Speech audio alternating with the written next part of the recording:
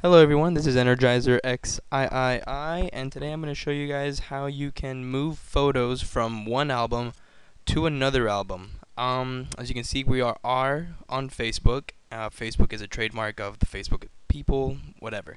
Anyways, I just made this account just to help you guys out with this. I, I saw that there was no videos on uh, YouTube about this, so I'm gonna make one and I'm pretty sure there are a couple people who are wondering hey how do I do this? So anyways first of all we're gonna start off by going to your profile and you're gonna come here.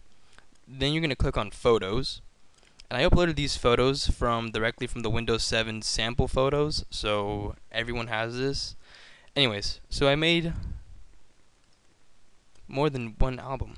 Anyways we'll see wherever it's at. Anyways uh, click on any album. Any album doesn't really matter. Where the photos that you want to move are at. So say that my koala picture here is in my terrains. Obviously, a koala is not a terrain. Neither is a jellyfish or penguins. So what we're going to do is we're going to click on Edit Album. So now that we're here, some people just overlook at this and like, this is not what I wanted to see. But right here in the bottom left corner, it says Edit Photos. So you click on Edit Photos.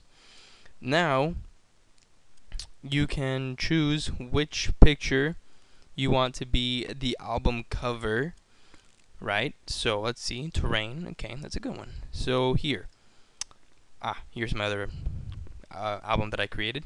Anyways, so since here's this one, I can click here and select move to animals and so forth. And there we go.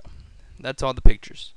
So now let's you know you can also give each one of these a tag, but since they already have Microsoft Corporation in them and they are part of the Microsoft Corporation, so I will leave it as that.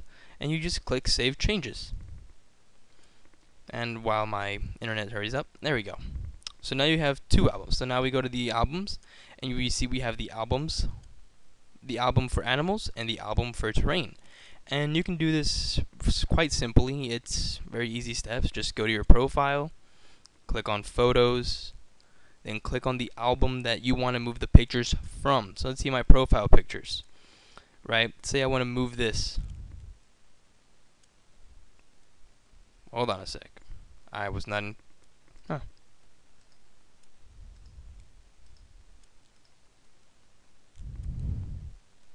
Oh well. Anyways.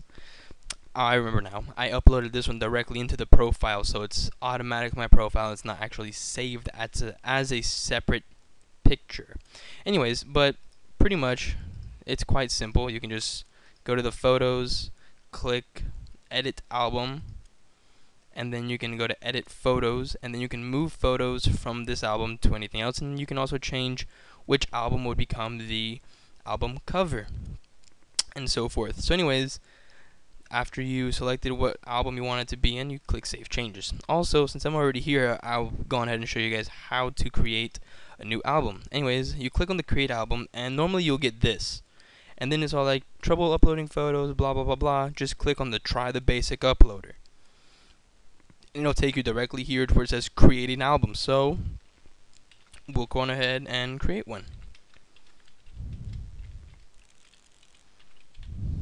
And whatever, it doesn't really matter. And just create album. Now when you come here where you can select photos, just say back to album and boom, you're back to your album and then you go back to albums and here it is the YouTube test album. Now, remember whenever we first came in here and we didn't have it, so now I'll show you that we do have it.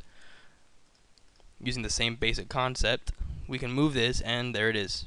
Our albums is still there. So, now that you know how to move and how to create an album, I hope this helps a lot of people. And uh, thank you for watching this video and uh, have a good day. And don't forget to rate, comment, or subscribe. And if you have any questions, you can inbox me or send it to my personal email account that I made specifically for my YouTube account. It is Energizer XIII at live.com.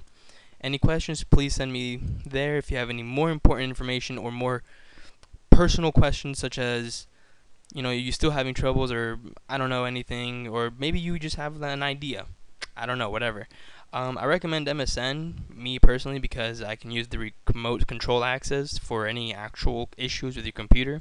As you can see, I have other videos on my on my account, so please do go and watch them and uh, have fun. Anyways, thank you for watching. Have a good one.